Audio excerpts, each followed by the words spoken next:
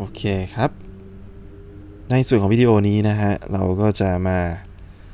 พูดถึง Economy เพิ่มเติมนะครับ แต่คราวนี้จะออกจากส่วนไอเทมไปแล้วนะครับ เราจะมาพูดถึงตัว drop table ตรงนี้กันนะครับ drop table ตรงนี้นะครับ ก็เหมือนกับตอนเล่นเกม RPG นะฮะ มันจะมีของที่ drop ลงมานะครับ ถ้าเราฆ่ามอนสเตอร์ตัวนี้เสร็จนะครับ มันก็จะมีของที่ drop ลงมา แต่ของที่เวลา drop ลงมาเนี่ย มันก็จะมีของหลากหลายชนิดใช่ไหมฮะ บางทีเราฆ่าตัวนั้น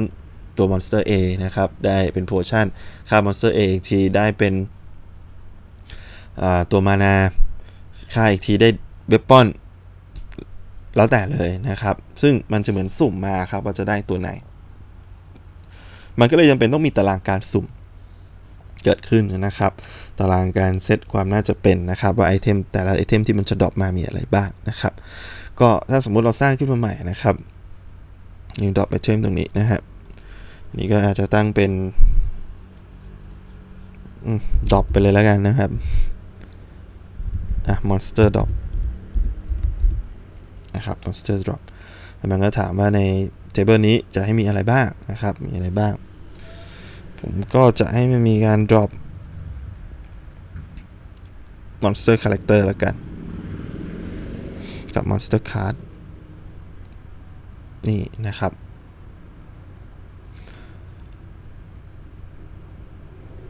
โอเค ก็สังเกตว่าถ้าเราเซตเวทมันเท่ากันเนี่ย มันก็จะหาเฉลี่ยแบ่งกัน 50-50 นะครับ หรือว่าเราจะเซตเป็นอย่างนี้ก็ได้ นี่นะครับ มันก็จะเปลี่ยนให้อัตโนมัตินะครับ ก็คือในตาราง drop table เนี่ย เวลาเราได้ไอ้ drop table นี้มาเนี่ย มันจะกลายว่ามันเราจะได้ไอเทมแค่ 1 ชิ้นนะครับทีละ1ชิ้นในลักษณะนี้นะครับ ซึ่งวิธีการใช้ตัว drop table เนี่ยนะครับ มันจะเป็นลักษณะนี้ โอเค ผมเซตเป็นอย่างนี้ไปก่อนนะ monster card monster character อย่างนี้นะครับ แล้วก็เซฟ drop table ไป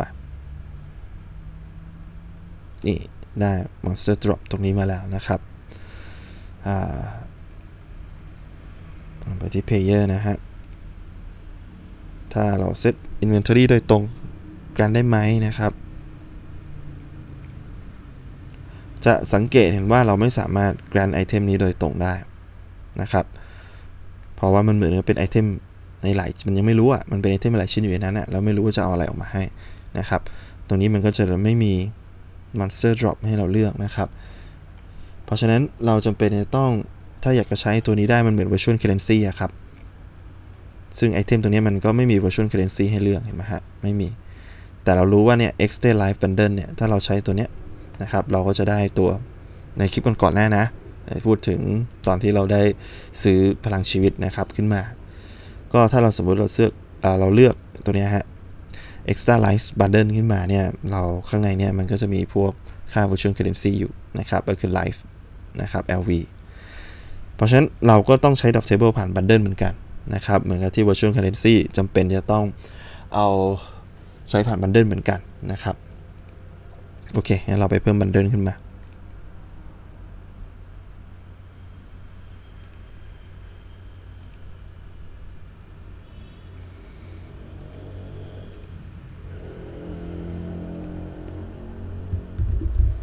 ตั้งไปเอา monster drop มาเลยนะครับ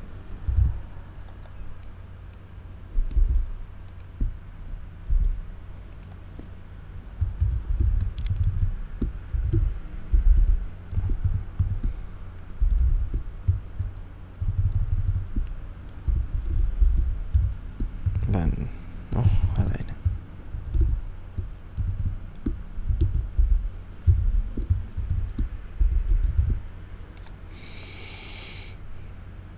ซึ่ง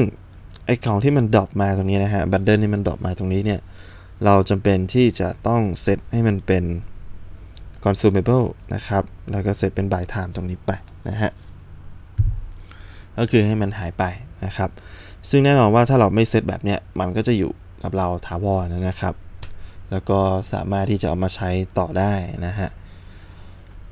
ซึ่งจริงๆมันใช้ได้ครั้งเดียวแหละ ต่อให้มันเป็นแบบไหนแต่ว่าเพื่อให้โอเค เพื่อเห็นภาพแล้วกันเนาะเดี๋ยวผมเอาปลายทางออกก่อนแล้วเซตมันเป็น durable เหมือนเดิมก่อนนะครับ เหมือนกับตอน extra line มาดูกันว่าจะเป็นยังไงนะฮะโอเค monster drop นี่นะครับ bundle drop ตรงนี้นะฮะ stackable นะครับ stack ได้ไหมนะครับ นี้เราไม่ต้อง stack ไม่ต้องอะไรทั้งนั้นนะครับถือเป็นไอเทมชิ้นใหม่ไปนะครับ มีราคาไหมนะครับ อันนี้ไม่มีราคานะครับ แล้วก็สิ่งที่จะอยู่ในบันเดิลตัวนี้ เราค่อยใส่ตัวนี่ครับ drop table ลงไป โอเค เนี่ยนะครับ ใส่ไปอย่างนี้เลยนะฮะ เรียบร้อยแล้วก็กด Save Bundle นะครับ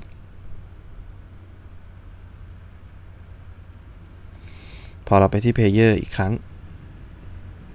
คลิกไปที่ Player ไป Inventory นะครับ แล้วก็จะ Grant ให้กับมัน มันก็จะมีตัวมาละ Monster Dog นะครับ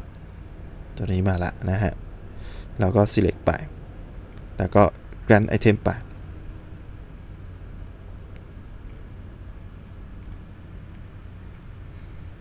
นี่นะครับ จะมี Monster Drop ตรงนี้โผล่มาแล้ว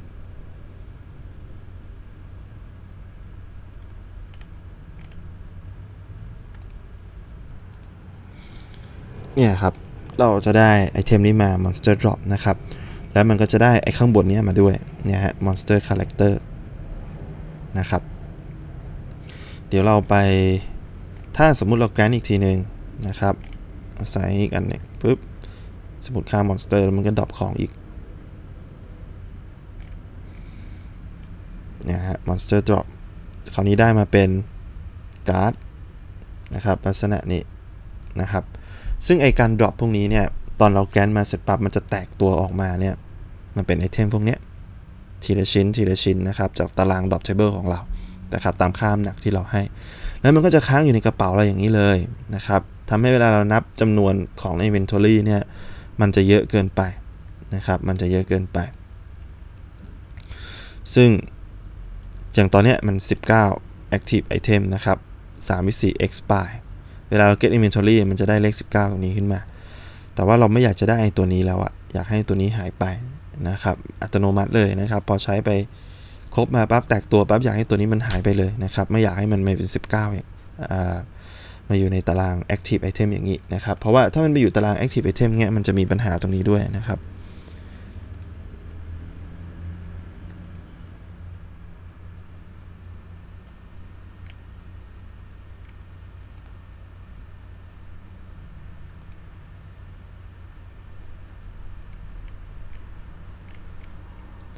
เนี่ยฮะนี่คือ player inventory item นะครับ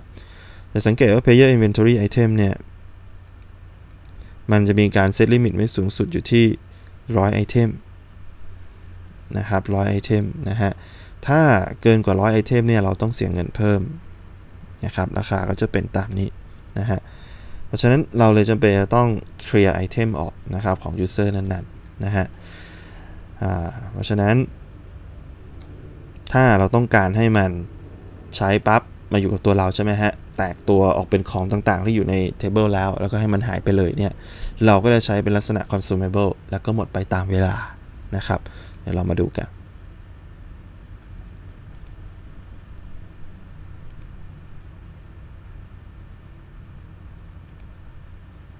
เนี่ยครับเลือกเป็น consumable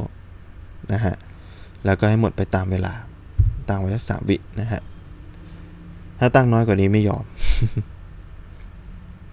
เดี๋ยวผมลองตั้งน้อยกว่านี้ให้ดูเอาหนึ่ง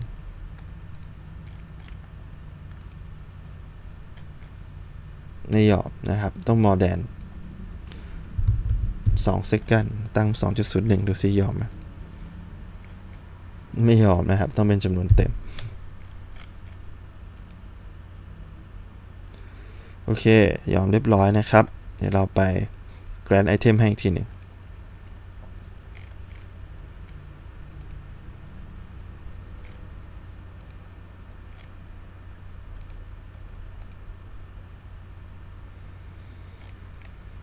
อะคราวนี้ดรอปได้อะไรมา ได้คาแรคเตอร์มานะครับเออรอสามวิหนึ่งสองสามกด refresh อีกทีหนึ่ง หายไปยัง ยังหล่อยนิดหนึ่ง